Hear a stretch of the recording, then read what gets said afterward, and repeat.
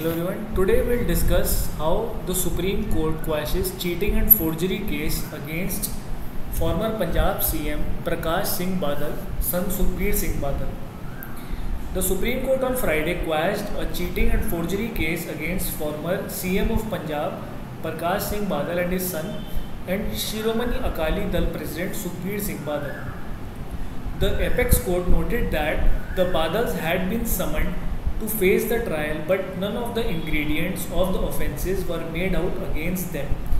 The court determined that the High Court ought to have quashed proceedings that would have been an abuse of the process of law. Hence, it quashed and set aside.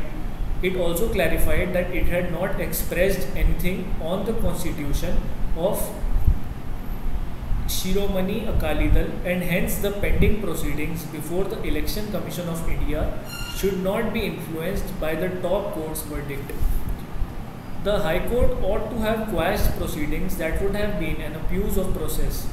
We quash and set the impugned order, including trial court summons, present appeals are allowed.